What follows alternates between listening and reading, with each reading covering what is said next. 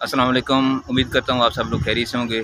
आज हम कराची की तरफ़ जा रहे हैं तो तमाम भाई से दरख्वास्त है कि हमारे लिए दुआ करना। गाड़ी में जितने भी मुसाफर हैं, तमाम किन तमाम मुसाफर अपनी अपनी मंजिल मकसूद पर अल्लाह के फजल करम से, खैर से पहुँच जाएँ।